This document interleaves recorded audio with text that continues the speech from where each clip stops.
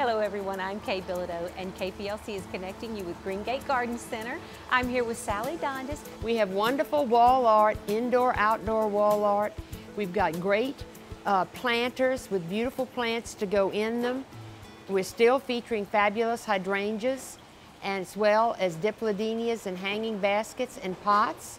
And we've got wonderful accessories in the veranda, including solar features, wind chimes, hummingbird feeders, and just fun accents. Yeah, and we were talking earlier, it's not just the traditional accessories you usually think of, like, you know, wind chimes, which you do have a lot of. So many different things. I want to talk about this wall art. You're holding the butterfly. How precious is that? Mom Yes. would just love that. I know that we have dragonflies, and like I said, we have actual pictures which are for indoor, outdoor.